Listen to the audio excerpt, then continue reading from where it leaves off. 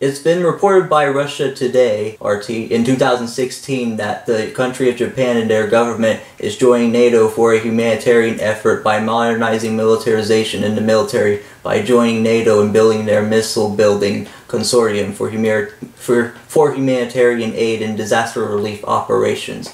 The Japanese government proves this political humanitarian effort to be peaceful the ships will be used in anti-submarine warfare. JMSDF is joining NATO in this humanitarian effort as well. The countries of China, Taiwan, and Russia as well too. Overseas military deployment has begun.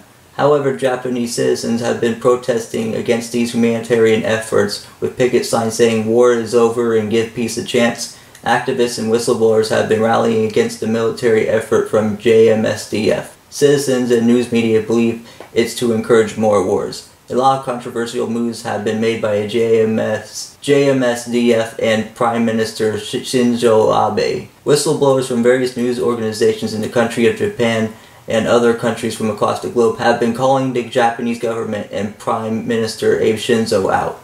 Despite all the negative press, militaristic actions are being launched by the JMSDF.